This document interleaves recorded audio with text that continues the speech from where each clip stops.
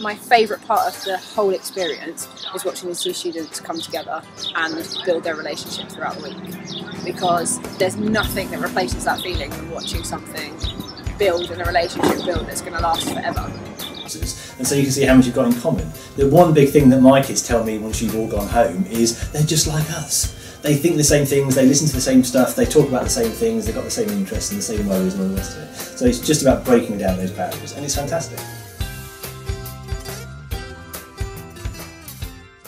This June, BTV took 21 students and three teachers to Bourne Community College in England.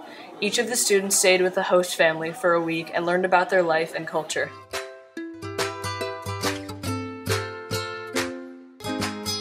What is it like being part of an exchange program with American students? Um, I think it's really good because you get to sort of know, get to know more people, and um, it sort of helps you make more friends around the world.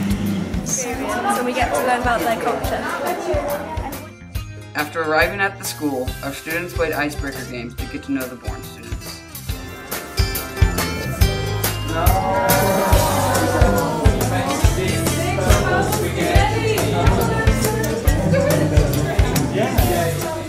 They then spent the weekend doing various activities and outings with their host families, such as visiting Arundel Castle, touring historic dockyards at Portsmouth, or having a barbecue with other host students.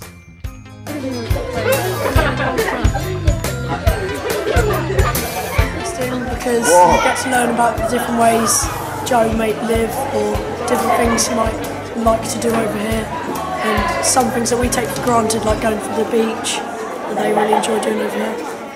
The British students taught us how to play the traditional English game of rounders.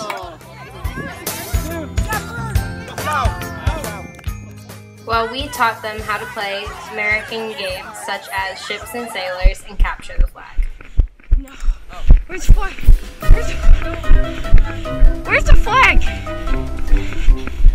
The benefits, I think, for a student's point of view is to get rid of stereotypes because we see an awful lot of things about America and about Spain and about France in the media, on the news, and we just kind of assume that's what it's like. So the main things we get obviously are your TV programmes and your sports, and apart from that, we don't get a real feel for what American teenagers are like. So it's just nice to get a human angle on it and to get rid of some of those stereotypes about the differences. My British accent is rubbish. Down there. Chicken Nando's. Cheers, mate. Good day, mate. Do you want some tea? Can I have a hamburger? Can I fries, bud?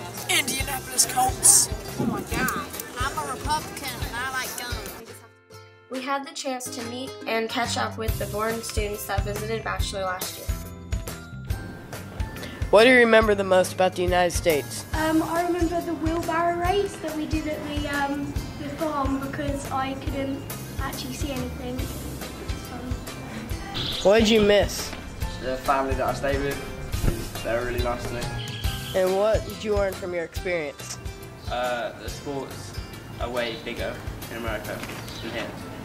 I learned that schools are very different compared to each other. Um, I learned that I want, I want a bigger family, like a lot of American people, they have big families and they have siblings to play with lots.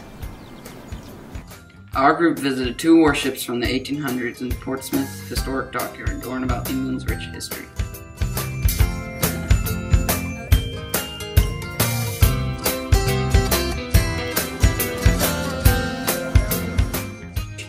Had the opportunity to end our trip by learning more about our craft, filmmaking, by touring the Harry Potter studios in London.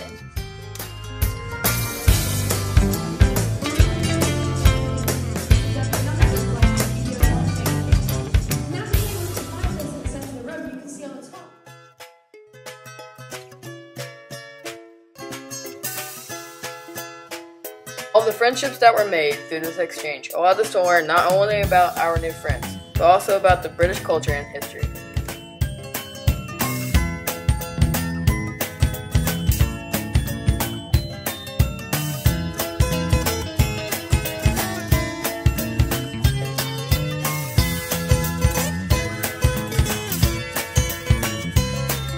From this experience, I learned about British culture and the differences in our communities.